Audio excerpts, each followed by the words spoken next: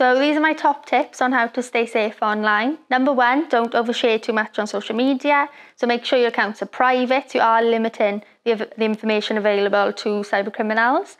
Number two, your passwords. Make sure they're separate for all accounts. Don't use the same password. And also use three random words. That's the current advice. So you make them longer and then they're stronger. Um, if you combine that with something called two-factor authentication, you can set that up on most apps for free. And so what that does is a second layer of security. So you need a code or a one-time password um, as well as your password. So if they have your password, they would also need that second layer to get into your account.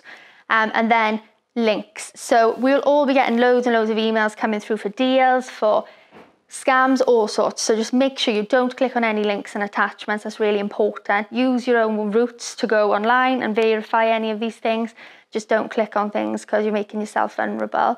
And then finally, if you do think you've become a victim of cybercrime, report to Action Fraud. And also, you, there is now a new reporting system for phishing, so we will link you down to that.